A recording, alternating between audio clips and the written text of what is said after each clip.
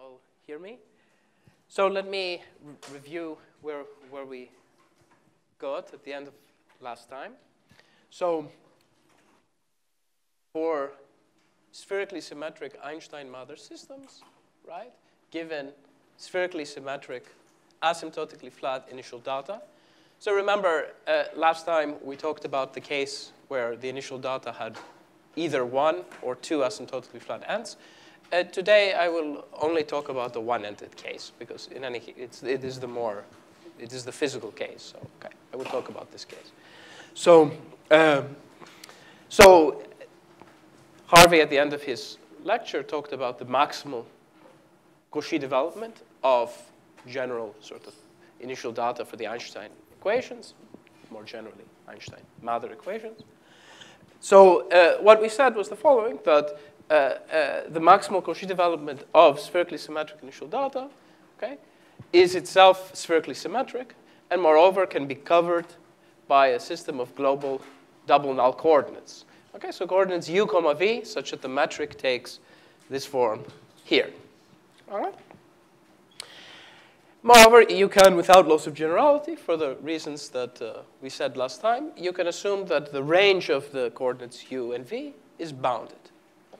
So you can think of the, the, the pair of coordinates as defining a bounded map of, of M into two-dimensional Minkowski space.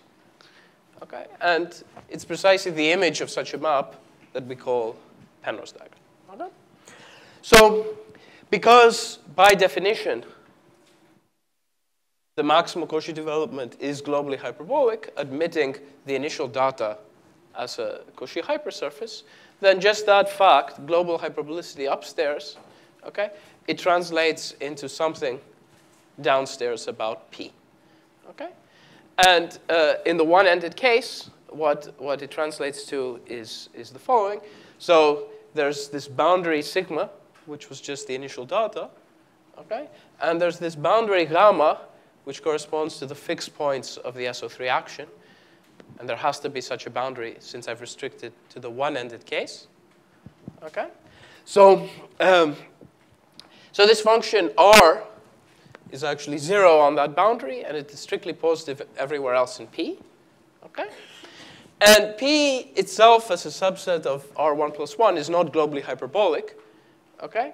But it has the property that any point in P here if you follow back a null curve in uh, this direction, you'll hit either gamma or sigma. Okay? Whereas if you follow a null curve in this direction, you'll hit sigma. Okay? So, uh, so that's the analog of global hyperbolicity at, at the level of this uh, quotient. And from that, it follows immediately that you can decompose the boundary of P. And now when I say the boundary, I mean the boundary except for this.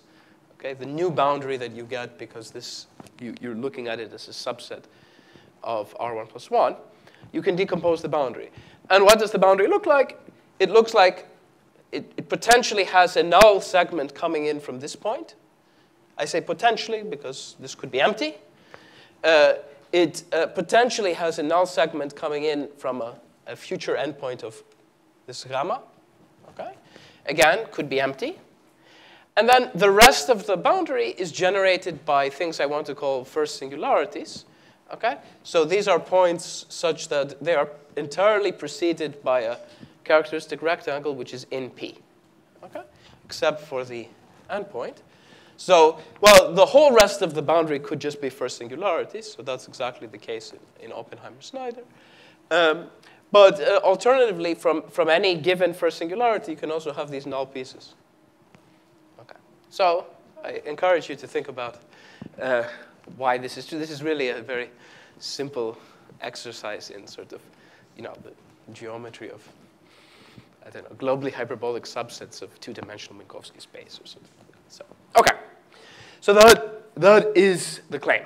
So what, what I want to do now, so, uh, so so far everything has really been, you know, sort of basically trivial as far as what I said about P. So I want us to start putting in more meat into this. So um, now I want to start using the equations. But I actually, we're not really going to be using the equations yet because we don't yet have equations. What do I mean by that? So, um, so for now, I'm, I'm, I'm really going to be uh, uh, in this world. So the, these are the, the, the Einstein equations for general energy momentum tensor, okay? And of course, okay, when you're in this world, you can think of the right-hand side as a definition. Okay, if I haven't yet told you, you know, what matter this is and what equations the matter satisfies, okay, the, you know. Um, but nonetheless, let's, let's uh, uh, first just do this to introduce some notation. So, okay, if you write the Einstein equations for general energy momentum tensor um, in this double null coordinate system, okay, then uh, the uh, energy momentum tensor decomposes uh, like this, okay? And I claim to you that the, the, the Einstein equations, all the information the Einstein equations is, uh, is in these four equations, okay? So um, already you, you, you'll notice that, okay, this is a sort of a wave equation for R on sort of, actually, you can think of it as a wave equation on, on you know, that as a subset of Minkowski space. This is a wave equation for, for, for log omega. And uh, these, uh, these equations actually have a name, okay, in a much more general setting. These are the so-called Raychaudhuri equations for null hypersurfaces. So if, if, if you know sort of more generally, okay, uh, this is a constant u hypersurface. d by du is this way, so this is a constant u hypersurface. And this is a constant v hypersurface, right? u equals constant, v equals constant.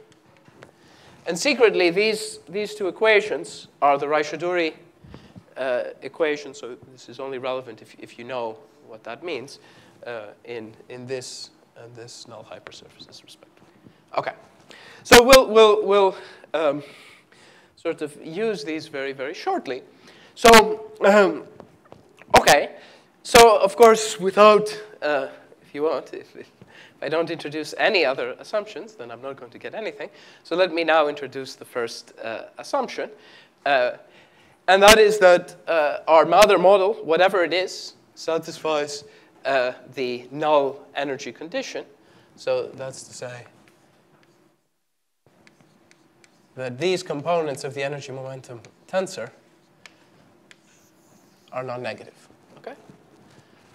Of course, again, since I haven't yet discussed any particular matter, you can think of this as a, just a, an assumption on, on, the, on the Riemann curvature. Okay? It's just the assumption that the Riemann curvature satisfies, uh, the, uh, the um, Ricci curvature satisfies uh, RUU is greater than equal to 0, RVV is greater than equal to 0. So sometimes this is called the null curvature condition. Okay? So, um, so why, why is this uh, uh, immediately relevant?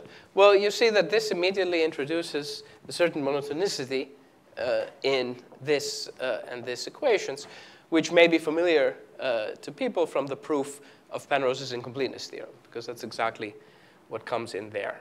Okay? So under this assumption, okay, we immediately have that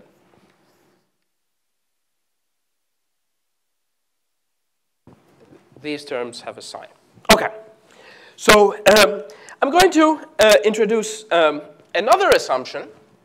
Actually, the sort of relevance of this assumption was sort of first really uh, highlighted by Christodoulou, which is uh, what I'll call the uh, no anti-trapped surfaces assumption.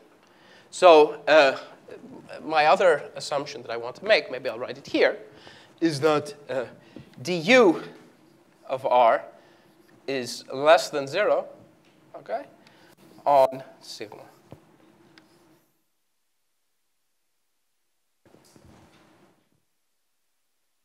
Okay, so remember, d by du is uh, this direction. Sigma is initial data. And you should think that I am free to impose assumptions on initial data. That's sort of the only place where I, I'm allowed to impose assumptions. Um, so in, in, in particular, this tells you that uh, no So if you think of these points of sigma as spheres in the initial data, okay, they cannot be what's known as uh, anti-trapped or, or, or past-trapped surfaces. Okay? So, um, so why is this relevant? Well, we can see immediately. So let me uh, give you a little lemma, which is sort of uh, uh, trivial, as, as you'll see. So, uh, so again, let this be any constant u curve, uh, and uh, let, so I'm going to just let this be any constant v curve, okay, in P, okay? So, uh, so here is my claim. Um, so if, let's look at this one first. dv of r is less than equal to 0 some point here at P, then it's less than equal to 0 uh, at Q, any point to the future of P along the constant U curve. Okay? And uh, similarly here, so if um, du of r is less than equal to 0, let's say here, then du of r is less than equal to 0 here. And similarly, uh, if I have strict inequality here, I have strict inequality here. And similarly, if I have strict inequality here, I have strict inequality there. So, um, so uh, okay, how, so the proof is trivial, but okay, you just have to uh, know this one thing. Okay. So remember, double null coordinates, as we've said many times, okay, are non-unique, okay, because you can always rescale u and you can rescale v, okay, by arbitrary functions, okay, of the old u and the old v, okay, as long as those functions are, let's say, monotonically increasing, okay, in the sense that the derivative is strictly positive. All right, so, um, so in particular, uh, uh, uh, a nice exercise, you know, given any, let's say, uh, this is a constant uh, u curve, you can rescale the v coordinate here, okay, so that um, omega, omega is identically 1 here. Okay? And it's clear that you can do this if you think about it geometrically, because actually that's just saying I'm going to parameterize this affinely. I'll keep my u coordinate as it was, and I'll reparameterize this affinely. Okay. So, um, well, if you change the, the, the v coordinate like this, you never change the sign of dvr. Okay, and the reason that you never change the sign of dvr is that, uh, again, you're, you're always rescaling by something which is monotonically increasing. Okay, so these rescalings preserve the sign. Okay, and that should be clear because, of course, the sign of dvr and dur is something geometric. Okay? It's only depending on the direction okay, not on how you're scaling the coordinates. All right, so you go to this coordinate where omega equals 1, and well, now this equation is just saying that d squared u, uh, I'm sorry, well, I should, if I'm doing this one, I should look at this one. This equation here is telling you that d, dv squared r is less than equal to 0, okay, from which both these uh, relations hold with respect to that v coordinate. Okay, but again, now you go back to your favorite v, v coordinate that you had because sort of the, the, the sign of dv of r is independent of the parameterization. Okay, so similarly here. Okay. So, uh, so let me give you uh, two corollaries of this. So the first corollary, and this is sort of the, if you want, the motivation for this. So since we assume du of r is less than zero initially, Okay? Uh, and since every point in the space-time, okay, is accessible to initial data by going backwards in this direction, and this is a constant v curve, okay, it follows from, from this relation with, with the strict inequality that uh, du of r is strictly less than 0 um, in all of P. Okay?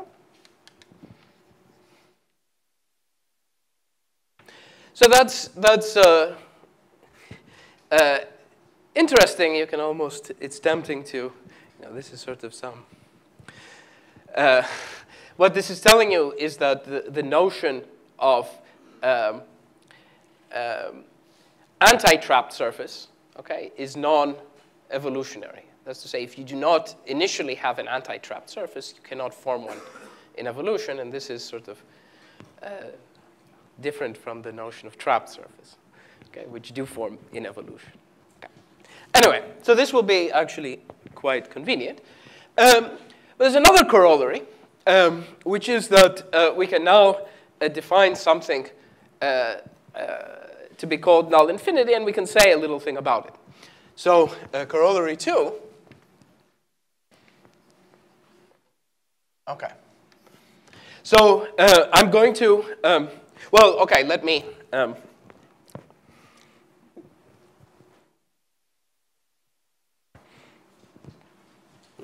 yeah, I mean, there, there are various. Um,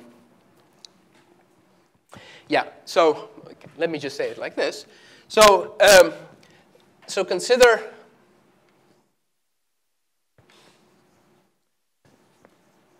sort of tedious to write this in words, but maybe I will just once.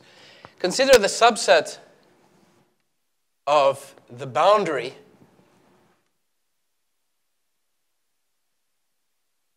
of P in uh, this ambient uh, 1 plus 1 dimensional Minkowski space. Um, so this, remember, this was the, this boundary, okay? So the boundary is this, okay? With the property, okay, such that, uh, so consider the uh, subset of the boundary uh, with a property that, um, so I'm looking at, at all x. Um, okay, so of all x in the boundary, okay, so here's x, okay, such that x is the endpoint of an outgoing null curve, so a constant a constant u null curve, okay, such that x, the endpoint of a null curve, um, um, so I'll call these out. So since I'm in the one-ended case, okay, it's sort of natural. I call these outgoing, okay? So of, a, of an outgoing null curve such that the curve is completely contained, first of all, in uh, P, okay? Except, of course, for its endpoint, which by definition isn't. And such that uh, R along this curve uh, goes to infinity.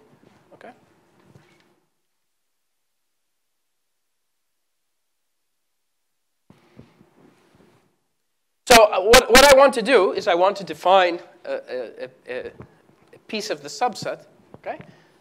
A, a, piece of the boundary of, uh, of P, and I want to identify that with null infinity, okay? So, uh, so uh, let me already you know, give it this name, okay? So uh, let, let, let me consider this subset, which I'm going to sort of denote like this.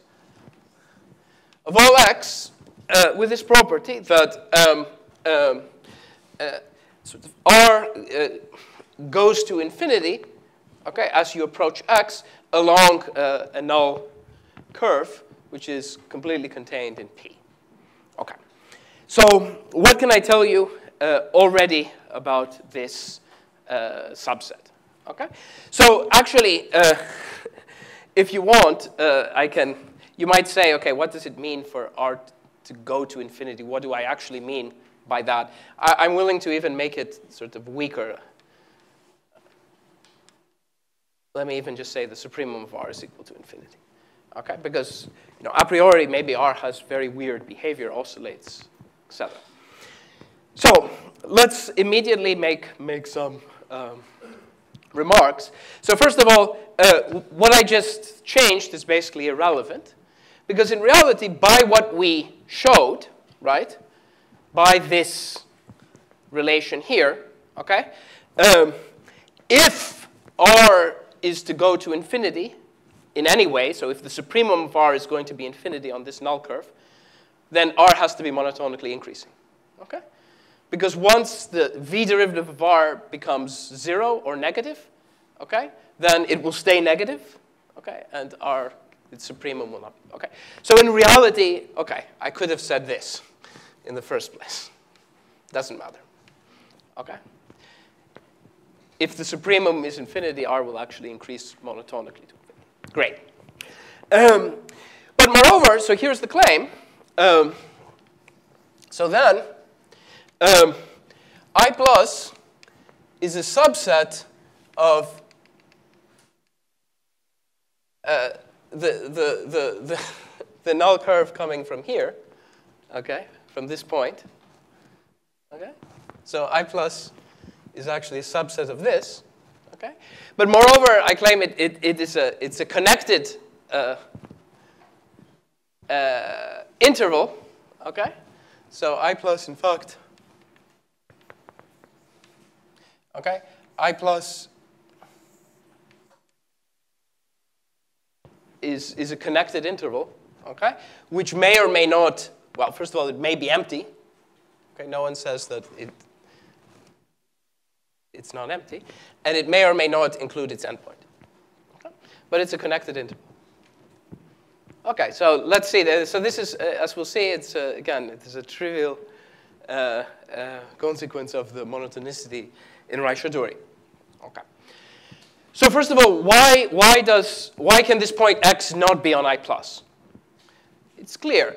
Okay, so uh, let's suppose this point x was on I plus and draw these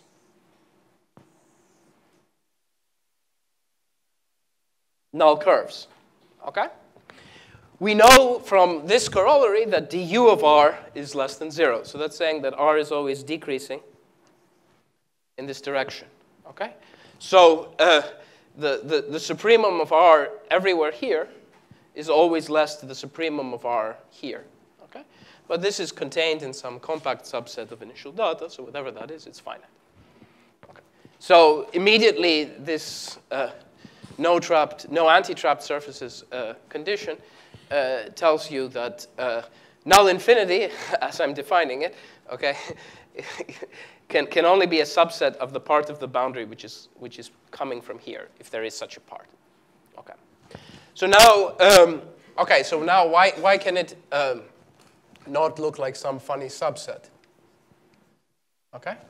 So what I'm going to show you is, um, so if x, what's x? There's x, right? So if x is in I plus, then so is all of this. Okay? So again, this follows for the same reason. If x is in I plus, all right, then um, what does that tell me? By definition, that tells me that this null segment, okay, is in P, all right, and R goes to infinity along here. Okay? So, um, so of course, here was uh, sigma, and r went to infinity along sigma, which is great. Now suppose y over here, suppose y, y, ah, put the label here. Suppose y was not in I plus. So what does it mean to not be in I plus? It means that, again, if I, if I draw this, okay, this all now has to be in the spacetime because of the geometry, so it's in the spacetime. Uh, uh, R does not go to infinity. Okay? But again, the only way that R cannot go to infinity is that the supremum of R is bounded. Okay, so R is less than equal to some capital R everywhere there. Okay. Uh, so, well, I told you that r goes to infinity as you go this direction, so go very far out, okay? Such that over here, let's say, r is bigger than capital R. Okay? And now follow this. All right? Well, R is bigger than capital R. R is less than equal to capital R here. Okay?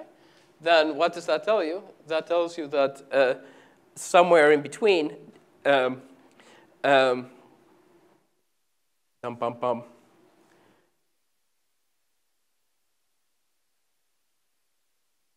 Well, okay, I don't even claim.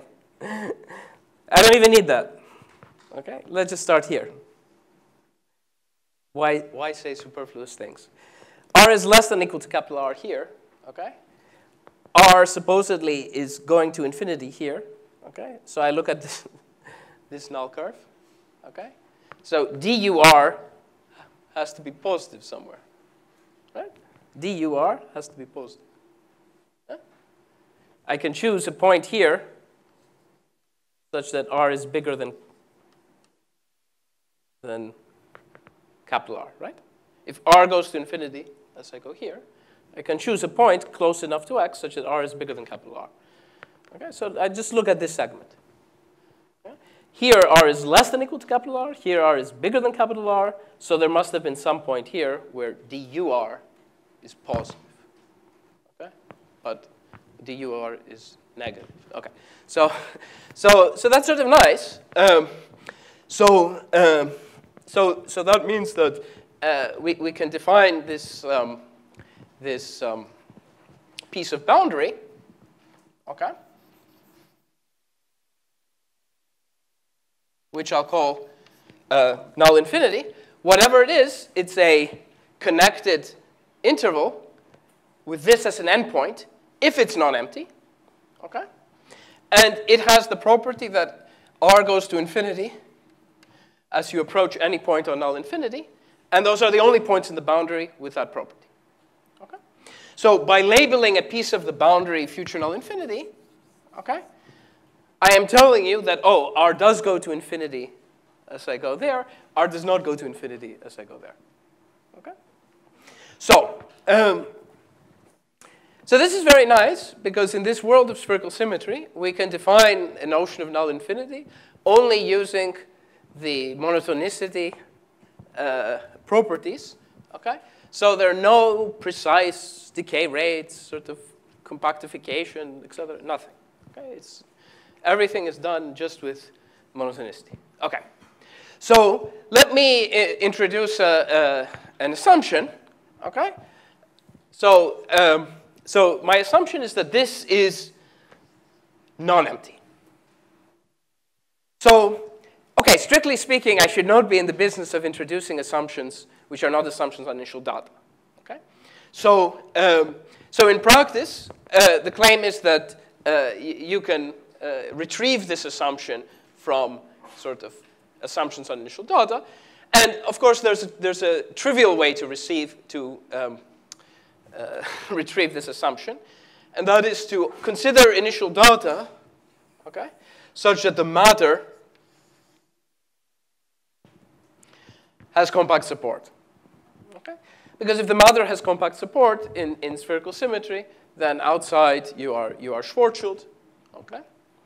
Maybe more generally, if you have charge, you want to say that the sort of the matter, except for the, the Maxwell part, has compact support. And then outside, you'll be Reissner-Nordström. Um, and, well, uh, null infinity is non-empty in those cases, and this property is inherited. Okay. So, uh, all right. So, okay, this, um, um, so this is very nice because in, in, in particular, we, we, we, we have defined some notion of uh, future null infinity. Let me write this uh, on the board. So this is my future null infinity.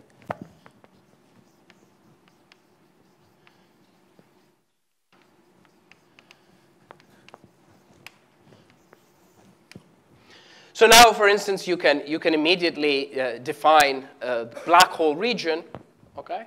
So black hole, if you want.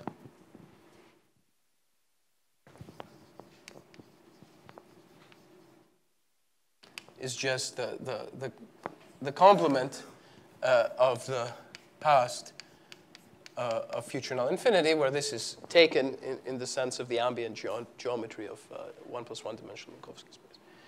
Okay? So in particular, uh, okay.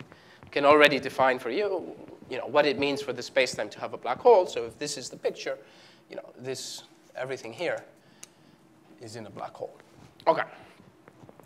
But, um, all right. So, uh, but remember that uh, weak cosmic censorship, as uh, we've defined it, is not the statement that singularities are hidden in black holes. It is the statement that future null infinity is complete. So let me tell you what that means, because we can, uh, we can immediately sort of uh, define that. Um, so, and actually this, it's, it's, it's a much more general um, definition, but let me not talk about it in, in, in generality. Let me just sort of specialize it to this setting of, of spherical symmetry where null infinity is meant in, in the sense that I've defined. Okay? So suppose here is your P, okay? And here is uh, null infinity. I'm just assuming that it's non, non-empty. Okay? So what does it mean for null infinity to be complete? Uh, so, uh, so of course, if this is non-empty, then okay, there is a, at least one, uh, right? Uh, null. Well, there's a lot of them because of the connectivity uh, uh, statement. But anyway, so here there is, there is in particular one um, outgoing null curve that goes to null infinity, along which, of course, r goes to infinity. Okay. So, uh, so the statement is, is then the following, that um, I uh, parallel translate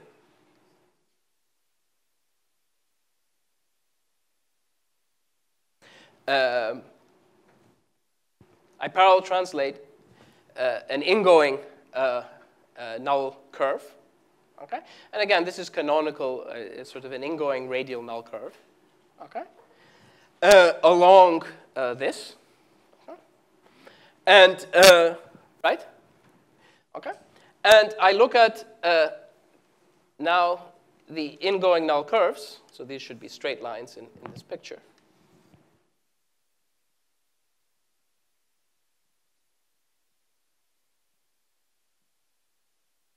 Okay? Generated by this vector.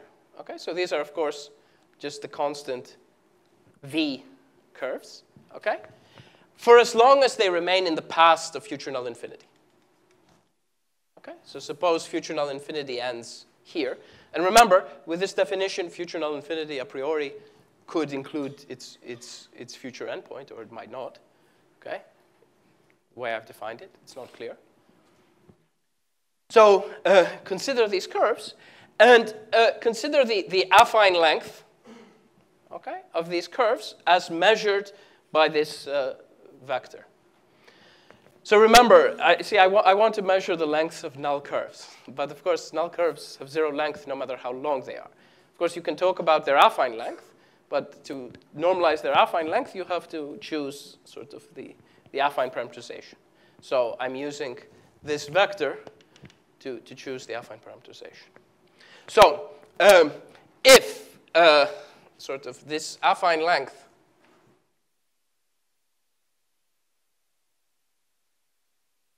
goes to infinity, okay, then I will say that null infinity is future complete. And if this affine length goes to infinity, I will say uh, that null infinity is past complete. Okay? So if affine length, this whole affine length, I mean, in both this direction and this direction diverges, okay, as this point goes here, uh, we say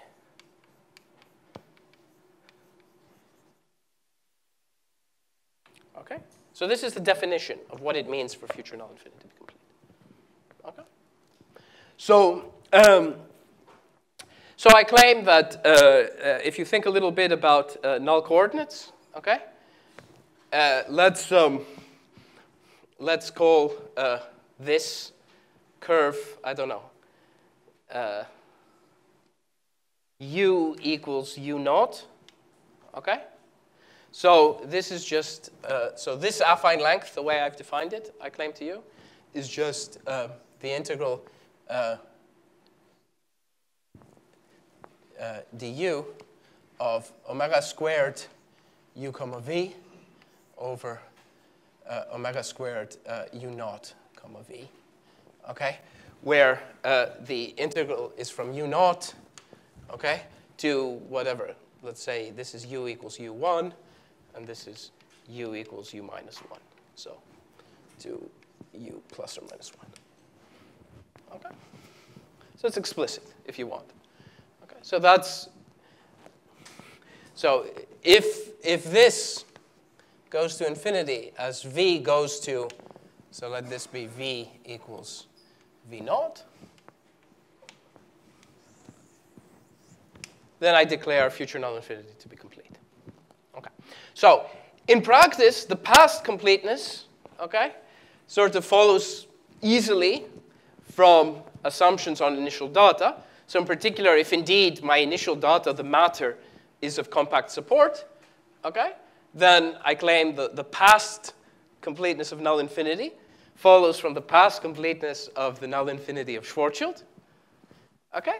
And if you think about it, that just follows from the fact, this is a good exercise, that in sort of Bondi u coordinates, okay?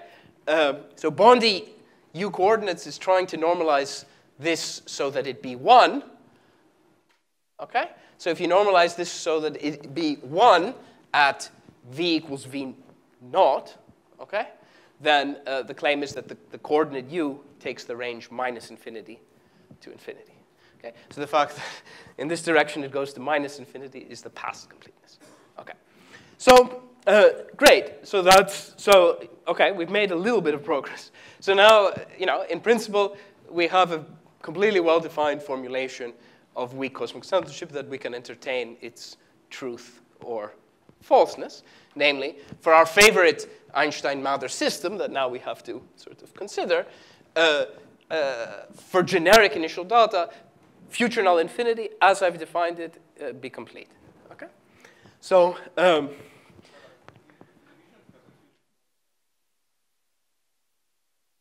everything I'm talking about is uh, for spherical symmetry. Everything.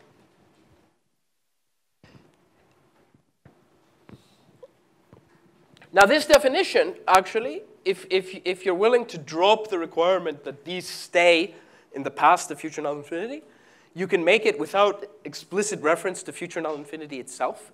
That's to say, you can define the notion of having a complete future null infinity without having a future null infinity. and actually, this definition has been made by uh, Christodoulou.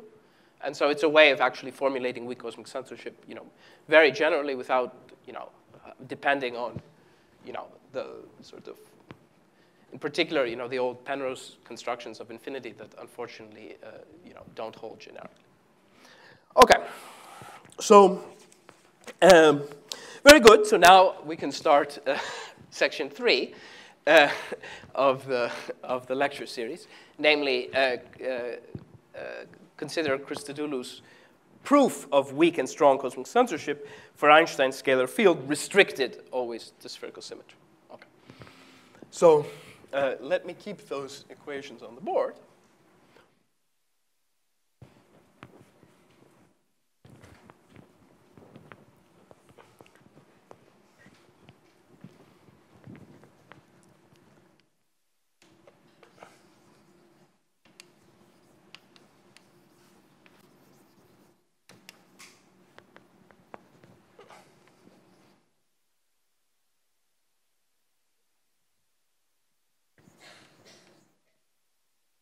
Fact, let me throw in also the, the, the space-like uh, singularity conjecture, or some version thereof,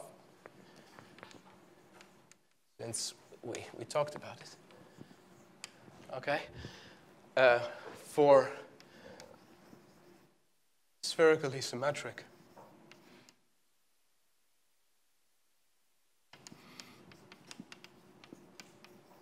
Einstein scalar field system.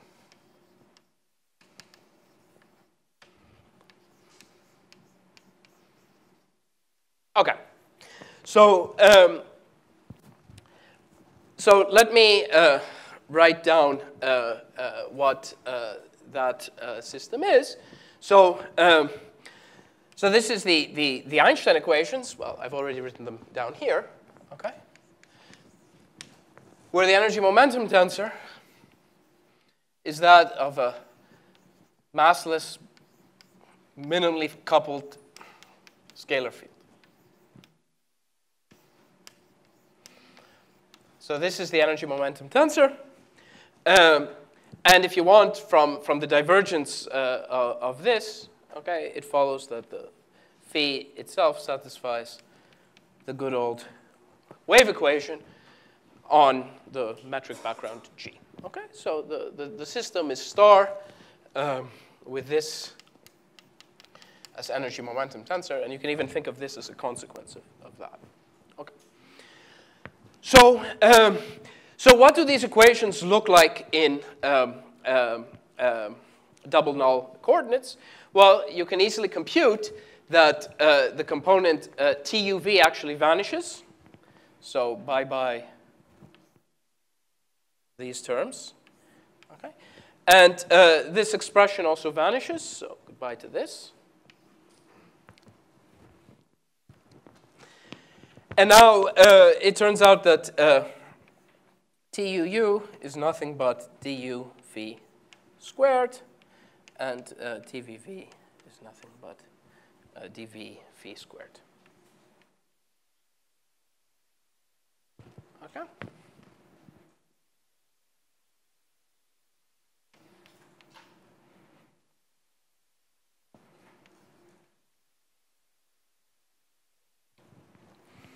So, um, okay. So, uh, so these are sort of the, the, the, Einstein equation. And if you want, you can also write down uh, uh, explicitly the, the, the, wave equation. Maybe I, I won't do that unless I, I need it, okay? All right, so uh, it turns out that what's actually more useful than writing down uh, the wave equation is uh, and this is extremely useful for general spherically symmetric spacetime. So maybe I'll, I'll still write it uh, for general energy momentum tensor and then specialize to scalar field.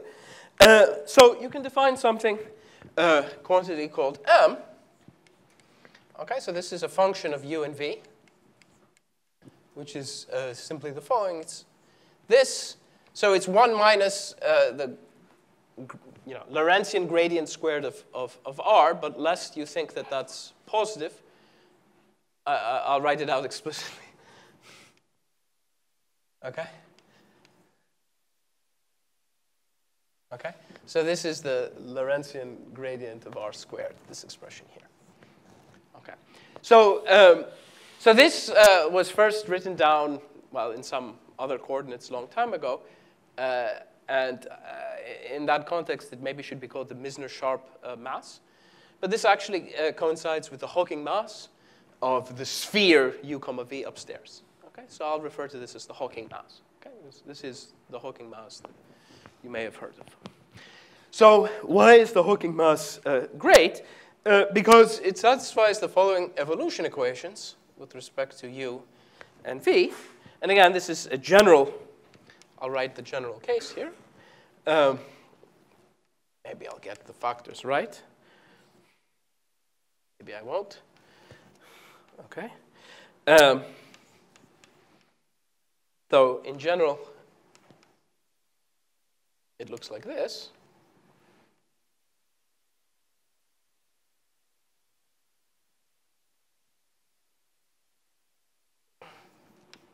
Okay, so this is sort of dual.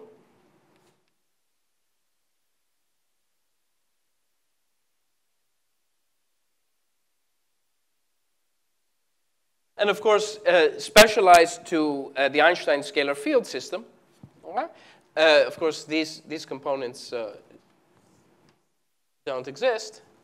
Okay, so we just get whatever.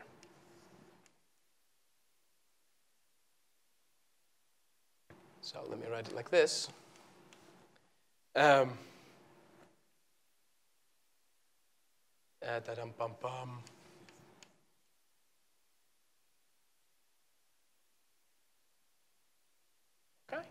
and in this in this case, I'm going to write it uh, like this. Um,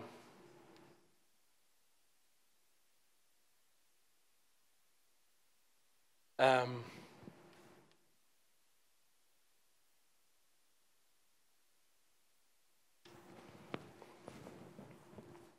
Okay, so uh,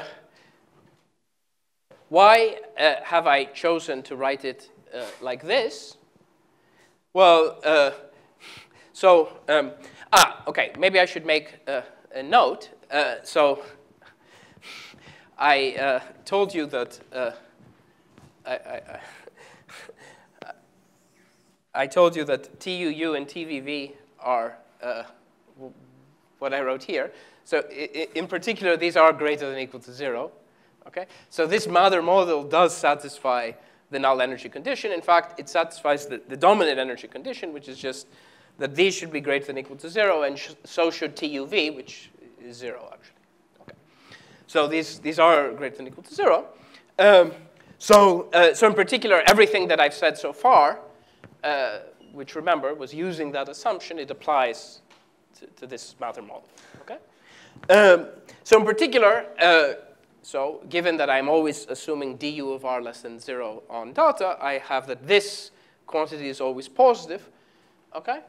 So uh, this is telling me that uh, this is always greater than equal to 0, dv of m. On the other hand, uh, I claim to you that m is uh, always um, uh, 0 on gamma.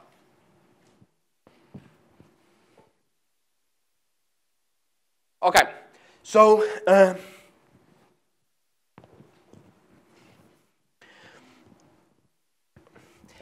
so I'll, I'll, I'll, I'll leave it as a little exercise for you to show because it's, it's sort of, uh, it's actually very easy.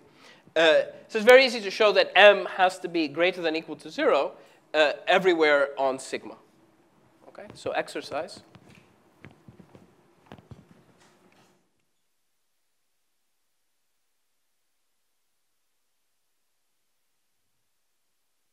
And now, since every point of P, okay, is uh, uh, preceded, I mean, if I go in this direction, I either hit sigma or gamma, okay? And this is a constant U curve, so this is d by dv.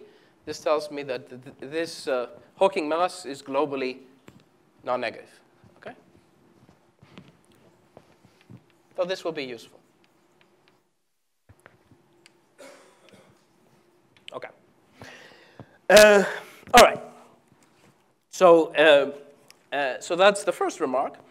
And now the second remark that I want to make, uh, which sort of there's a big story behind this, is the following.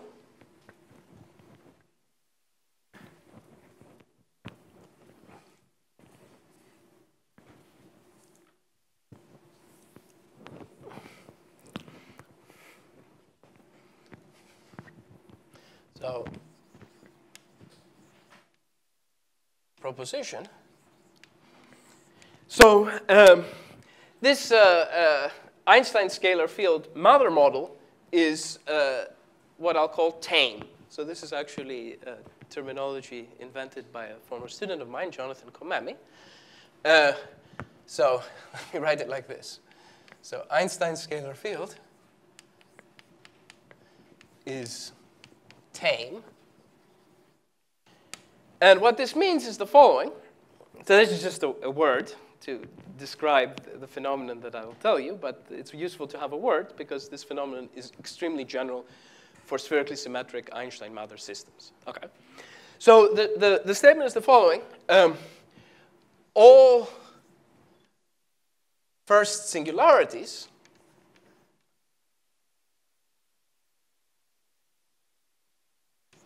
not arising from the center, and I'll remind you what that means. So remember, this is the boundary, okay?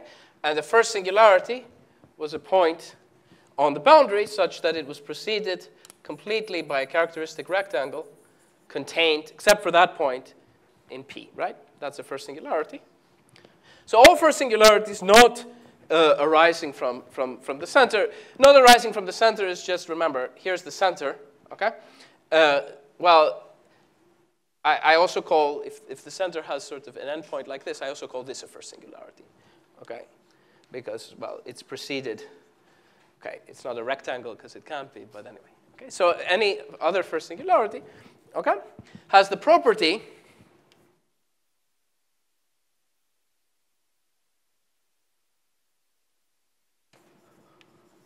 that the infimum of R in that rectangle be 0. So let me uh, uh, try to explain a little bit. Okay. Uh, so in general, what, what, why, why, why do I sort of distinguish these first singularities? Okay? Well, it's very clear that uh, if this is indeed the maximal Cauchy development of an Einstein-matter system, like this one, okay, then in order for this to actually be a boundary point, okay, these equations have to break down at that point. Because if these equations do not break down at that point, okay, if these equations do not break down at that point, okay, then you can go very close to that point, okay, and you can sort of erect initial data. If there was no breakdown as you come close to that point, you should be able to apply local existence for these equations and continue beyond and falsify that this is on the boundary. So given a first singularity, you know that something goes wrong there with these equations. Okay. Now, a priori, lots of things could go wrong. For instance, phi could blow up. du phi could blow up.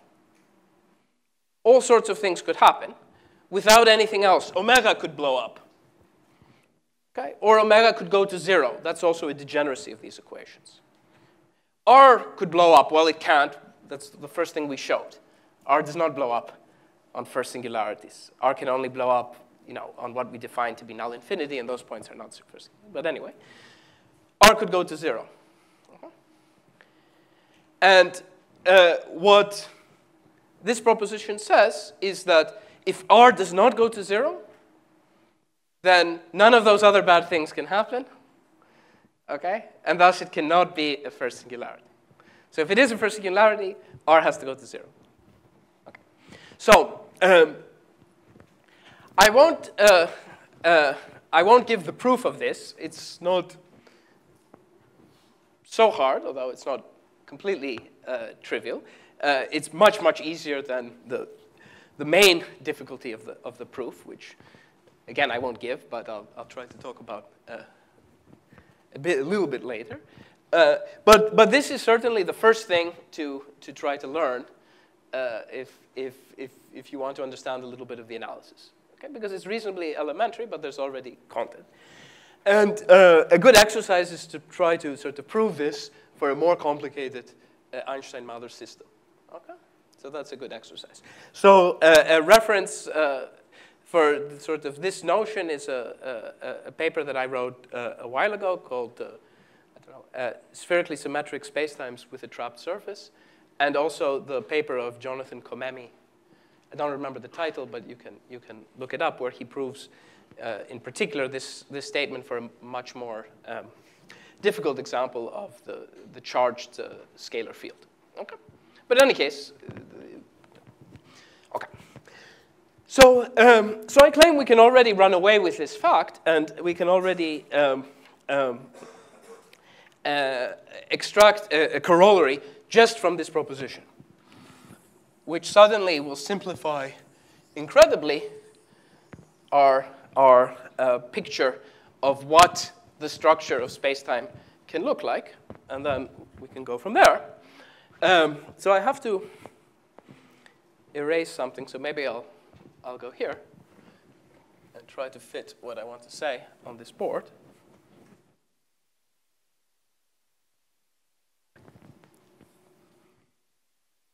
So corollary.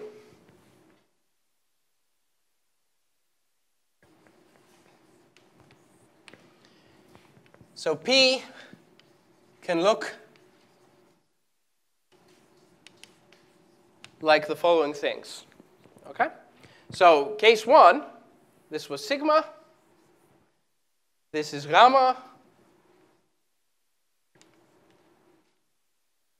This is I plus. Okay?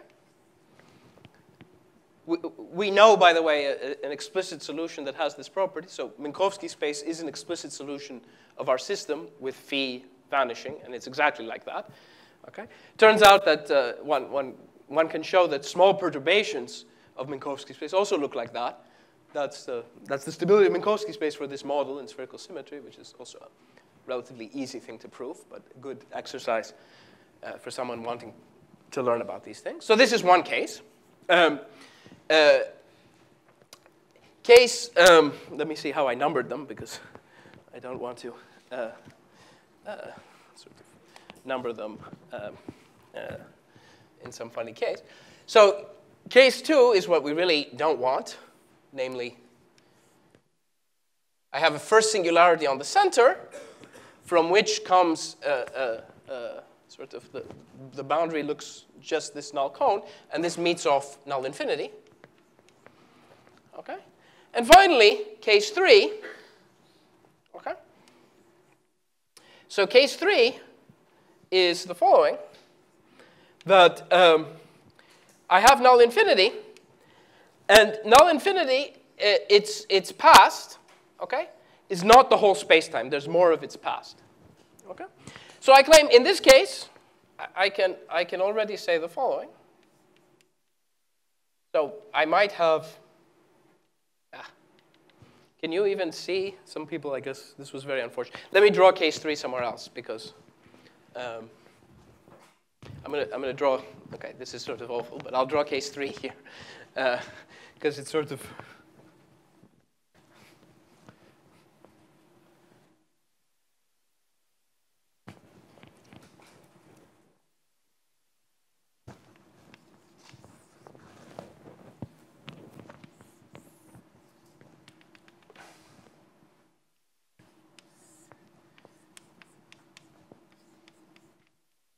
I'll explain to you the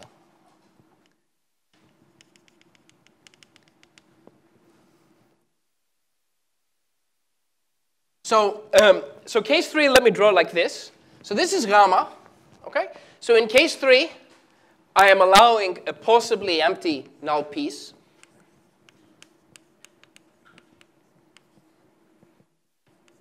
emanating from the top of gamma. I'm allowing a possibly empty null piece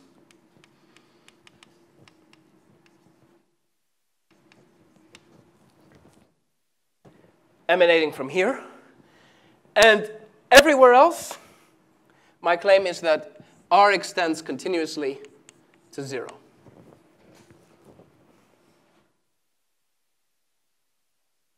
So, uh, so the, the, the corollary I claim is that um, once you know this, okay, then uh, the only possible uh, Penrose diagrams are 1, 2, and, and 3. Okay? So it's either this, this, or this. And moreover, let me tell you uh, uh, something else. Okay? So in, in, in, in cases 1 and 2, 1 and 3, sorry,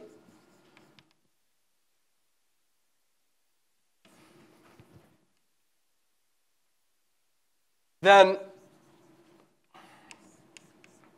null infinity is complete.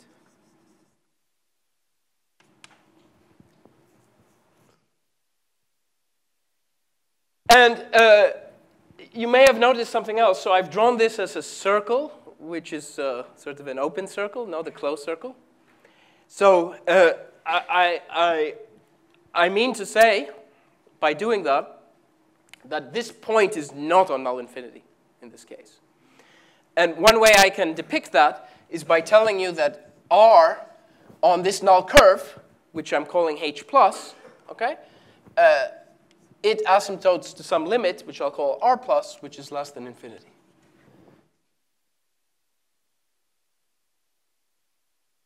And in fact, I can tell you something more.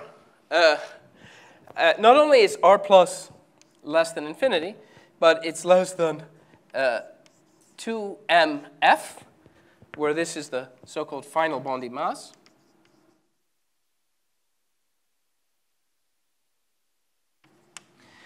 Uh, and you know, very, very quickly, using, uh, using uh, this monotonicity,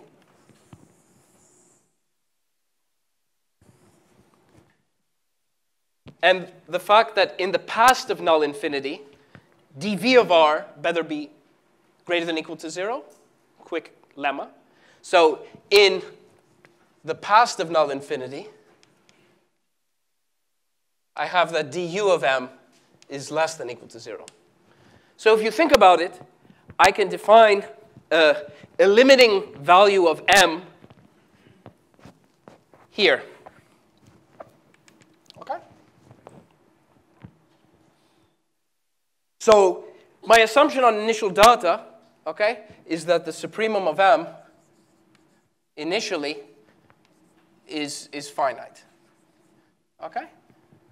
So that's, if you want, the only version of asymptotic flatness that I need. Okay? So uh, from that, it follows that you can define something you can call the Bondi mass. I'll call it capital M of u by just looking at the limit okay, of little m as you go there. And that, that's a monotonic limit, so it exists. It's just the supremum. Yes?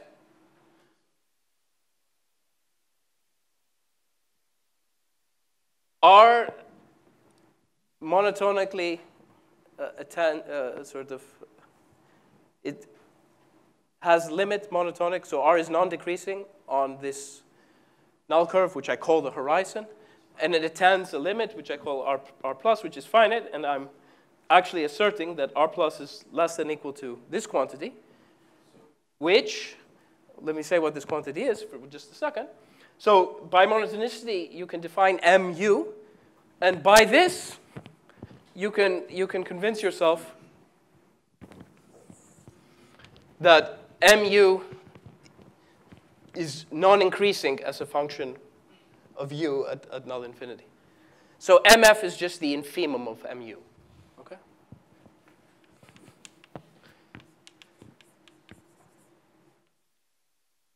So you can call that the final Bondi mass. Okay. So uh, this type of equation is sometimes called a Penrose inequality. But this is the actual Penrose inequality that has not yet been proven outside the circle symmetry. That's to say, I'm telling you that the area of the event horizon uh, is, is, is bounded by the, the final Bondi mass. Okay, so this is the strongest type of statement you could, you could, you could want. So all these are reasonably elementary things to prove. So unfortunately, uh, I, I, I won't prove this here, but uh, this is all proven in the, the paper that uh, I mentioned before, as uh, spherically symmetric uh, spacetimes with a trapped surface. Um, and, uh, and let me emphasize that that paper is not about this system. It is about any system that satisfies that proposition. Okay? So that's why, if you want, this proposition, this, this, this sort of property deserves a name, that just from this uh, sort of name, uh, just from this property, you can, you, you can say all this. And finally, let me just make one other remark. Uh, a, a, sufficient condition for 3. So I'll keep the equations, but I'll maybe erase this.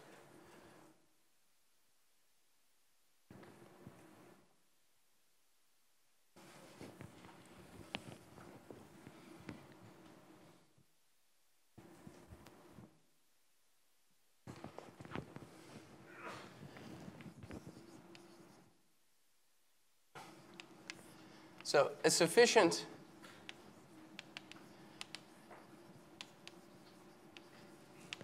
condition for 3 okay, is that there exists, and hence the name of that paper, uh, at least one trapped or marginally trapped surface. So there exists a, a, a u comma v such that dv, I'm sorry, of um, r at u comma v is less than equal to 0. So given that uh, du of r is always strictly negative, okay, then if at a point p, okay, if at a point p, dv of r is less than equal to 0, then that point upstairs is a trapped surface. Okay? So uh, I should say if it's strictly less than 0, it's what I'll call a trapped surface. If it's less than equal to 0, it's what I'll call a marginally trapped surface.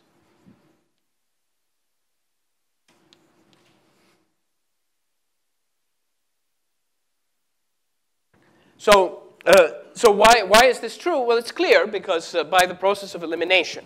You see, um, by our monotonicity that we've used several times now, it cannot be the case that dv of r at, at this point or at this point, okay, is less than equal to, to 0. Because if dv of r is less than equal to 0, then it has to be less than equal to 0 there. Similarly here. But it cannot be because r supposedly goes to infinity. Okay. So the only Penrose diagram that allows it is that one. Okay. So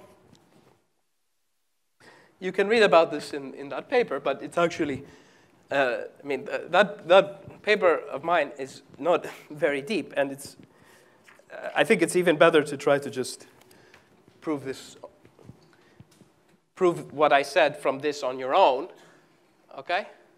Because literally you're just using monotonicity properties. Although I should say the last part is maybe slightly more subtle with the Penrose inequality. Okay.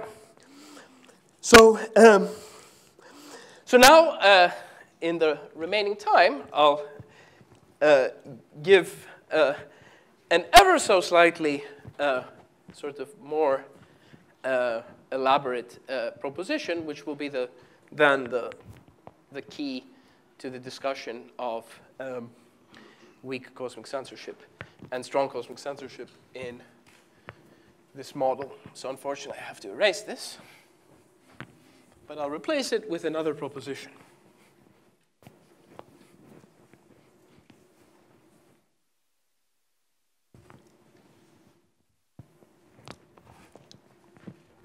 So here's the, here's the, here's the claim, okay? Proposition.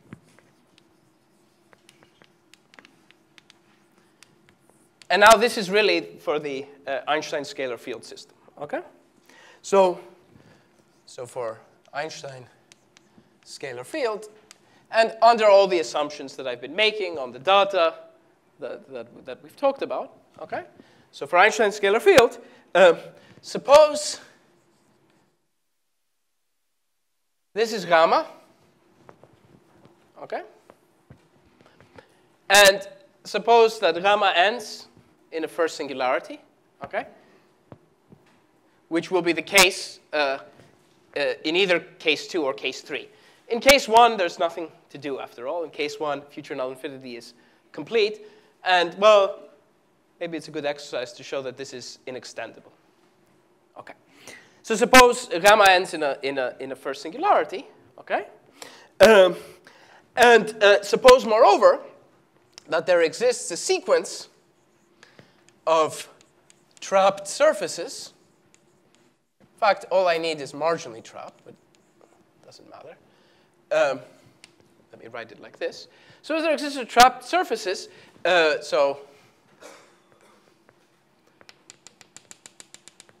okay, uh, tending to this point. Okay? So suppose there exists such a sequence. So remember, what is a trapped surface? It's just a, a point such that, uh, since we know du of r is negative everywhere, such that dvr is less than 0. So suppose there exists such a sequence, okay, in, in, in my spacetime. Okay? So then, I'll tell you, I'll tell you what the Penrose diagram of the spacetime is. Okay? So then, uh, P is the following.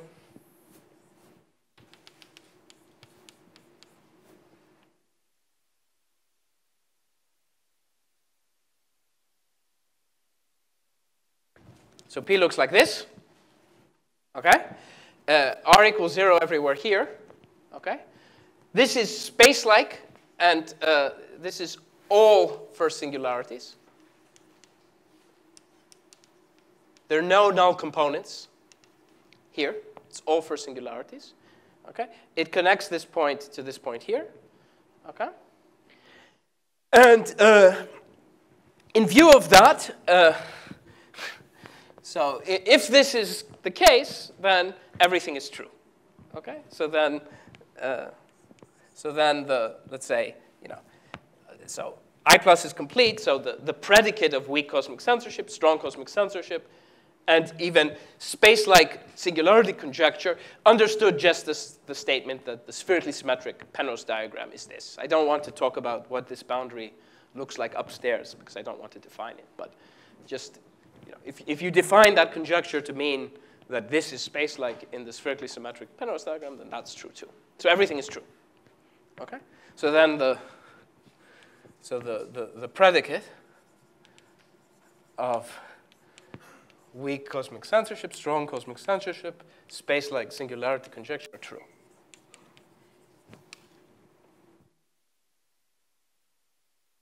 So everything, everything, everything everything reduces to showing that for generic initial data, if I have, you know, if I'm not one, okay, then I'll have a sequence of, of trapped surfaces uh, that go there. Okay? So, uh, so this proposition is actually also very, very simple. Um, and uh, in some sense, what, what, what's key to this proposition, um, so you shouldn't think the, the, the difficulty in, uh, in the proof of the cosmic censorship conjectures, this is you know, really the achievement of Christodoulou, is showing that indeed this happens generically. Okay? But uh, it's already very interesting that somehow everything, everything, everything reduces to a completely local question about this point. Okay, so I want to draw uh, your attention to that. And actually, uh, let, let me draw your attention to one other uh, fact.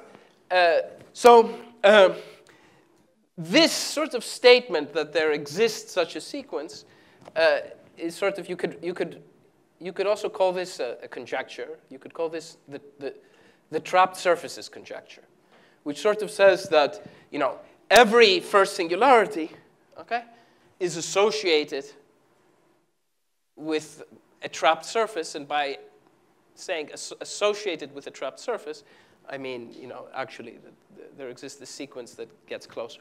So there is some uh, much more general formulation of that uh, conjecture, uh, not, not in spherical symmetry, but in, in complete generality. It uses the language of TIPS, TIPs, if you know what that is.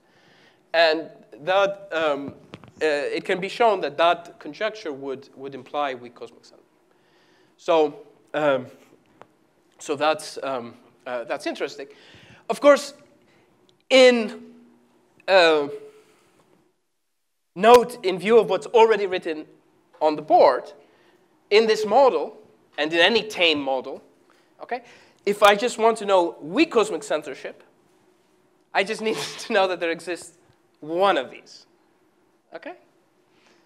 Because of what's written in the remark, okay? If there is a single trapped surface, then I know I'm in case three, and future null infinity is complete, okay? So, uh, so having the sequence, uh, it turns out, is important uh, so as to, to, to rule out uh, uh, a null component like this, okay? Which could be an obstruction for strong cosmic censorship because a null component like this uh, could admit a, a, smooth, let's say, extension through there. Okay, so uh, I'll end in well, one minute. Let me just already whet your appetite with um, uh, how, you, how, how, you show this, uh, this proposition. So, uh, so I claim that the key to showing this proposition uh, is, um, is the following. Um, so if, if you look at this equation here, okay, I haven't written it in a very useful way. But I can rewrite it in view of my definition of M. And, uh, well, let me get the, the factor right.